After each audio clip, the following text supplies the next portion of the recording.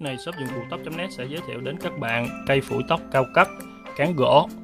Đây là mẫu cây phủi paper, nó cũng giống như mẫu cây phủi quơ thôi. Nhưng mà cái chất liệu hai cái cây phủi này được so sánh là như nhau, hoàn toàn như nhau với các bạn ha. Từ à, cái chất liệu thân làm thân gỗ và đến cái cái chất liệu à, sợi lông phủi. Đây. Thì mình sẽ quay cận cảnh cái sợi lông phủi cho các bạn thấy nha. Rất đều đang vào thân gỗ cực kỳ chắc chắn luôn. Rồi cái quan trọng cái lông phủi này nè. Thứ nhất các bạn sẽ thấy nè đó. Lông phủi này là thuộc loại là lông phủi mềm chuyên phay chuyên cắt phay cho tóc nam á. Thì à, phủi rất là ăn tóc. Không gây đau. Phủi tóc khô tóc ướt đều ok nha. Đi kèm với nó là một cái hộp cũng là hộp paper shop. Đó thì có mút mút bên trong ha nhìn cực kỳ sang trọng và chất lượng luôn.